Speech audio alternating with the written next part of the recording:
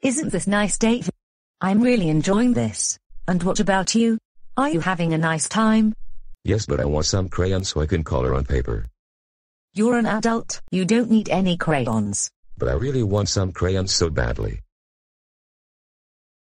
Wait, I have an idea. Maybe I can find some under the table.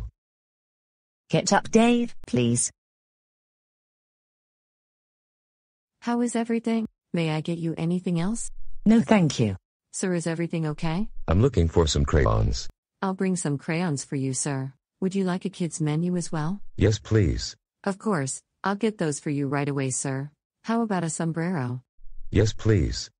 Seriously, Dave, get up. You're so embarrassing. You don't have to be so mean, Catherine. I only wanted some crayons. Oh, shut up, Dave.